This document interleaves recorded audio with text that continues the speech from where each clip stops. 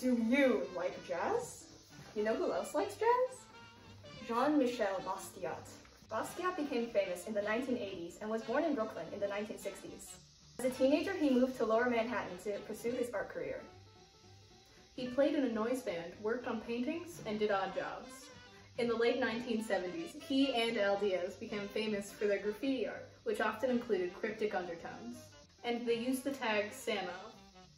From there, Basquiat's fame only grew as art critics began to take note of his work. One of the most well-known works from Basquiat is Horn Players. The triptych is made with acrylic and oil paint, and portrays famous jazz musicians Dizzy Gillespie and Charlie Parker.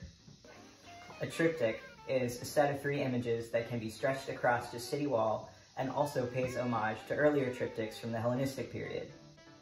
The word ornithology, or the study of birds, is repeated throughout the piece.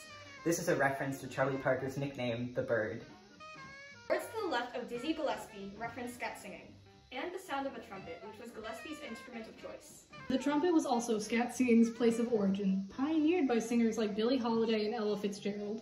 Many of Basquiat's other works also utilize text as an art form, with words bending throughout the piece mirroring the fluidity of music. Horn Players is comparable to some of Pablo Picasso's work, notably The Three Musicians.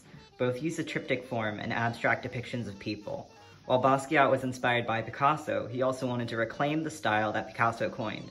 Picasso was known to be misogynistic, racist, and harbored regressive views.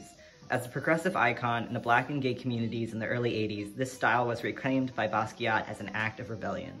In 1981, an Artforum article, Radiant Child, written by art critic Rene Ricard, was Basquiat's first real claim to fame.